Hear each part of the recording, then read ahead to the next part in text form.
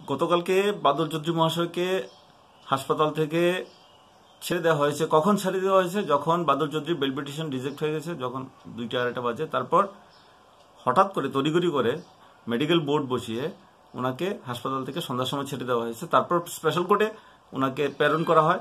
Special court থেকে ওনাকে জেলখানায় প্রেরণ করা হয়।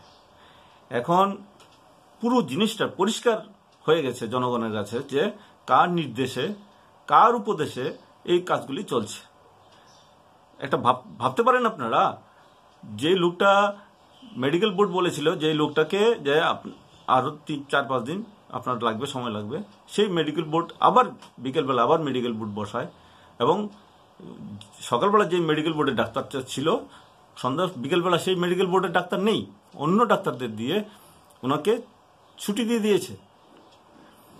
তারপর জেলখানায়। জেলখানায় গিয়ে পরিস্থিতিটা হলো, জেলখানায় গিয়ে ওনাকে তিন, তিনবার বিভিন্ন রুমে রাখা হয়েছে। মানে স্টেজ স্টেজ মানে কি রকম মানে আরও কষ্ট পায়, আরও কষ্ট পায়, আরও কষ্ট দাও, এরকম বলে মানে রাখা হয়েছে। তারপর যখন আজকে সংবাদপত্র, বিভিন্ন সংবাদপত্র আমরা আসে আমাদের কাছে নিউজ আমরা সকালবেলা যাই, নয়টার সময় আমরা জেলখানায় পরিদর্শন করি এবং গ্রাউন্ড রিয়েলিটি জানার জন্য আমরা ওনার সাথে কথা বলি ইন্টারভিউ করি। করার পর আমরা জানতে পারলাম সবকিছু। আমরা আশ্চর্য হয়ে গেছি যে মুখ্যমন্ত্রীর নির্দেশে, উপদেশে এই জঘন্য কাজগুলি হচ্ছে এবং গণতন্ত্রকে ধ্বংস করছে এবং ধর্ষণ করছে।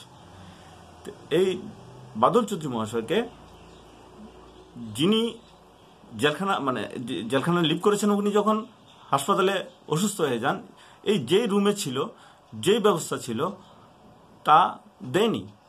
আইজি প্রিজন, আমরা জানতে চেয়েছি কে কার নির্দেশে। আইজি প্রিজন, মৌখিক অর্ডার কোন লিখিত অর্ডার নেই, মৌখিক অর্ডারে সমস্ত কিছু হয়েছে। এখন আমরা কোর্টে জানিয়েছি আজকে, কোর্টে জানানোর পরে কোর্ট আবার নির্দেশ দিয়ে, নির্দেশ দিয়েছে যে, বাদল বাদল চৌধুরী মহাশয় যে, আগে যেরকম পরিস্থিতি ছিল, যে রুমে ছিল বা যে ব্যবস্থাপনা ছিল, সেই ব্যবস্থা যাতে ফিরিয়ে দেওয়া হয়। তা আমরা বলব, জনগণকে বলব যে, জনগণ সব কিছু বুঝছে, দেখছে যে কাকে খুশি করার জন্য পুলিশরা এবং আধিকারিকরা কাকে খুশি করার জন্য অবৈধভাবে, অনৈতিকভাবে কাজগুলি করছে। পুলিশ থেকে আরম্ভ করে, কোর্ট থেকে আরম্ভ করে সবাই অবৈধভাবে মুখ্যমন্ত্রীকে খুশি করার জন্য কাজগুলি করছে এবং ওনার নির্দেশে কাজগুলি হচ্ছে। আমরা কন্ডেম করছি সমস্ত ঘটনাগুলিকে এবং গণতন্ত্র পুনরুদ্ধার জন্য সমস্ত শান্তিপ্রিয় মানুষকে ঐক্যবদ্ধ হওয়ার জন্য আবেদন করছি।